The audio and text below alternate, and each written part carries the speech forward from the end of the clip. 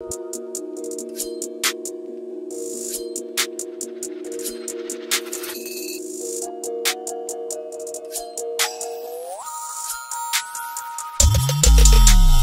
की मुकम्मल डिटेल्स मैं ज़रूर दूँगा लेकिन आ, ये बात मैं बता दूँ कि आज का जो व्लॉग है वो गाड़ी के रिलेटेड नहीं होगा बल्कि इस चीज़ के ऊपर होगा कि सक्सेसफुल होने के लिए सिर्फ़ यूट्यूबर होना या सिर्फ़ पॉपुलर होना ज़रूरी नहीं है। अब सबसे पहला काम तो ये है कि मेरी गाड़ी के अंदर मेरी एलईडी पड़ी हुई है, क्योंकि कल शाओमी का लाइव इवेंट था और मैं एलईडी अपने घर से उतार के लेके गया हुआ था। मेरे पास एक एलईडी है, इतना भी अमीर नहीं हूँ मैं। तो अब वो एलईडी यहाँ लगानी है और उसके बाद ऑफ़िस चल के बाकी बात करते हैं।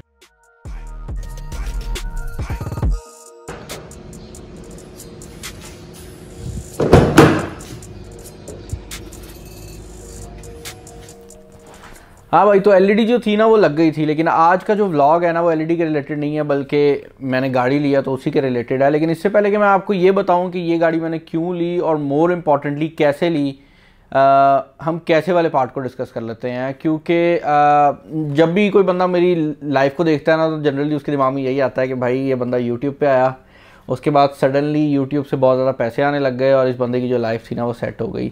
लेकिन आज इस व्लॉग के थ्रू मैं आप लोगों को ये बात बताना चाहूँगा कि जितने भी लोग हैं जो ज़िंदगी में कुछ भी अचीव करते हैं लाइक मैंने तो भी कुछ अचीव किया भी नहीं है, लेकिन जितने भी लोग हैं जो अचीव करते हैं, वो अपने मेन काम से हटकर जब ज़्यादा काम कर रहे होते हैं, तभी वो अचीव कर रहे होते हैं। मिसाल देता हूँ दुनिया का सबसे अमीर एक्टर जो है वो शाहरुख खान है। कोई अमेरिकन एक्टर नहीं है, कोई हॉलीवुड का एक्टर नहीं है, शाहरुख खान है। उसकी रीज़न ये नहीं है कि वो बहुत अच्छा एक्टर था।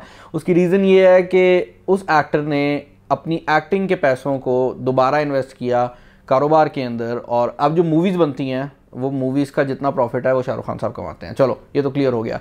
इसके अलावा हमने बीट्स ऑडियो के हेडफोन्स अक्सर यूज़ किए हैं। बीट्स ऑडियो के जो हेडफोन्स हैं, वो एक रैपर ने बनाए हैं। उस रैपर ने अपनी पूरी ज़िंदगी में जितनी रैपिंग की है, उससे जितना पैसा कमाया, उससे कई गुना पैसा उसने तब कमाया जब उसने बीट्स ऑडियो की कंपनी एप्पल को सेल कर दी। तो बेसिकली कहने का मकसद ये है कि अगर मैं एज अ यूट्यूबर आपको नज़र आ रहा हूँ कि कोई भी खर्चा बड़ा कर रहा हूँ तो उसकी रीज़न ये नहीं है कि यूट्यूब से बहुत पैसा आ रहा है। उसकी रीज़न ये है कि जब मुझे नज़र आया कि यूट्यूब से मेरी ज़रूरत से थोड़ा सा ज़्यादा पैसा आने लग गया है तो उस टाइम पर वो पैसा मैंने संभाला। मैंने वो पैसा पागलों की तरह लगाना नहीं शुरू कर दिया। यही वजह है कि आपको मेरे चैनल के ऊपर जो क्वालिटी है, वो भी काफ़ी देर बाद बेहतर नज़र आई। हमने कैमरा काफ़ी देर बाद अपग्रेड किया। इनफैक्ट अभी भी हम एक सोनी का एक कैनन का कैमरा चला रहे हैं, जबकि हमें अब तो जो क्लाइंट्स हैं, वो भी कहने लग गए हैं कि यार क्या मज़ाक है, रंग डिफरेंट हो रहे हैं। लेकिन कहने का मकसद ये है कि जहाँ पर पैसे बच सकते हैं, हम वहाँ पर पैसे बचाते हैं। मैं इसकी मिसाल सिंपल सी ये दे देता हूँ कि हमारा ये जो बैकग्राउंड है, बहुत बुरा है। ये लैपटॉप असल में ख़राब है, लेकिन असल ने कहा था कि ये रखेंगे ना तो कूल लगेगा। ये मेरा पुराना लैपटॉप है, इसकी बैटरी चलती ही नहीं है। तो ये बस सिर्फ़ कूलनेस के लिए यहाँ रखा हुआ है। वैसे ये ख़राब है। और इसकी बैटरी आज चल भी गई है किसी तरीके से। वैसे नहीं चलती यार। तो कहने का मकसद ये है कि यार ज़िंदगी में जो सक्सेस है ना, वो आपके एक काम को करने से नहीं आएगी। और जब आप किसी बंदे को सक्सेसफुल देखते हो तो देखा करो कि वो बैक एंड पे क्या क्या कर रहा है। और जो भी काम आप कर रहे हो, अगर आप जॉब कर रहे हो तो उसके साथ कोई साइड हसल स्टार्ट कर दो, अगर आप साइड हसल कर रहे हो तो उसके साथ कोई जॉब स्टार्ट कर दो। बेसिकली एक काम के ऊपर ना रहो, जो मॉडर्न वर्ल्ड है, इसमें हमारे घर के अगर एक बंदा कमा रहा होगा, तब भी नहीं चलेगा, और अगर एक बंदा एक काम कर रहा होगा, तब भी नहीं चलेगा। घर के हर बंदे को काम करना पड़ेगा, और घर का हर बंदा मल्टीपल काम करेगा, तभी अच्छी तरह से गुजारा होगा। तो ये वो मेरी क्विक टिडबिट थी। अब मुझे पता है कि ज़्यादातर लोग गाड़ी की तस्वीर देख के व्लॉग देखने आए होंगे तो गाड़ी क्यों देख लेते हैं? Oh, dripping sauce like a boss, plus I'm rocking heavy metal.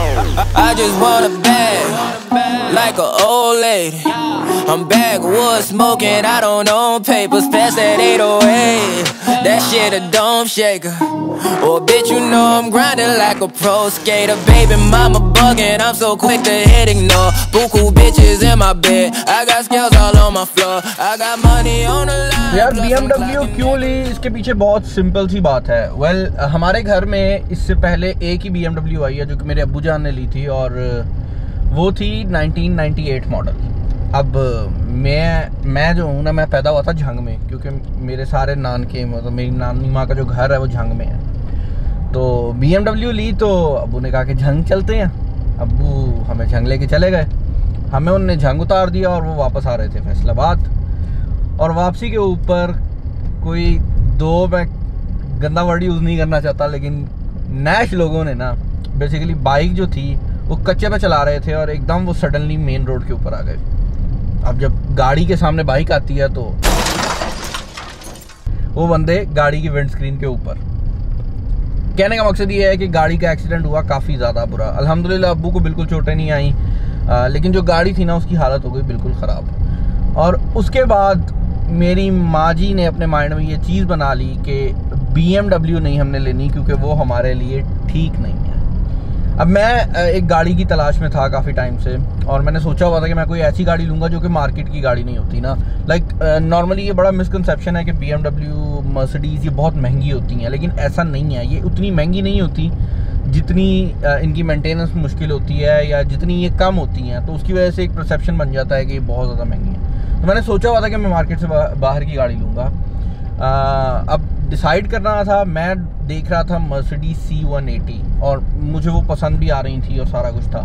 Suddenly मेरे अब्बा जान ने मुझे एक तस्वीर भेजी इस गाड़ी की और पहली नज़र में कैसे जादू कर दिया। मेरे कहीं पे भी सोच में नहीं था कि मैं 320 लूँगा क्योंकि बीएमडब्ल्यू लेने का प्लान भी नहीं था और ना ही मुझे बीएमडब्ल्यू उसको पसंद आ रही थी क्योंकि ज़्यादातर BMW डार्क कलर में होती हैं या तो वो जो ब्लू कलर है या ब्लैक कलर लेकिन फिर भाई इस गाड़ी की तस्वीर देखी, मुझे ये गाड़ी बहुत पसंद आई, मैंने अम्मी जी को दिखाई तो उनको गुस्सा आ गया कि भाई BMW नहीं लेनी, ये है, वो है।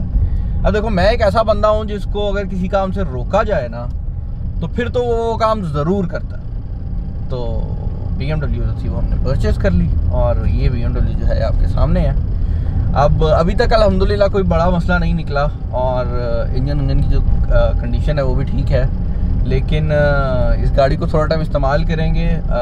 उसके बाद ही मैं आपको बताऊँगा कि भाई ये रखने के काबिल है या नहीं। वेल well, लेकिन इसमें ये बड़ा इंपॉर्टेंट है कि इससे पहले मैंने अकॉर्ड रखी थी और अकॉर्ड को लेते वक्त मैंने इंजन को चेक नहीं किया था और बाद में जब उसने मसले निकालने स्टार्ट किए ना तो वो एक के बाद एक के बाद एक के बाद एक मसला। एक दफ़ा तो ऐसा हुआ कि हम लोग लाहौर से एक टूर से वापस आए तो गाड़ी जैसे ही घर खड़ी की पता लगा कि उसका जो गेयर बॉक्स है वही काम करना छोड़ गया। तो इस तरह के मसले हो रहे थे उस गाड़ी में ना तो कहने का मकसद ये है कि गाड़ी को लेते वक्त चेक नहीं किया था पहले इस बार किया है। देखते हैं क्या रिस्पॉन्स रहता है। आई होप ये जो व्लॉग है आपको पसंद आया होगा। आई होप आपको गाड़ी पसंद आई होगी।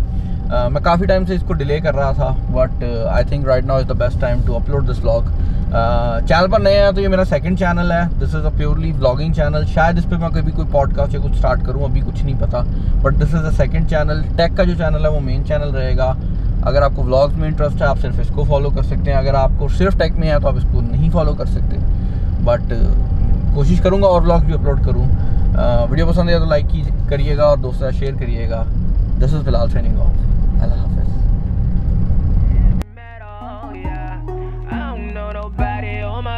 dripping sauce like a boss, plus I'm rocking heavy metal. I just want a bag, like an old lady. I'm backwoods smoking, I don't papers.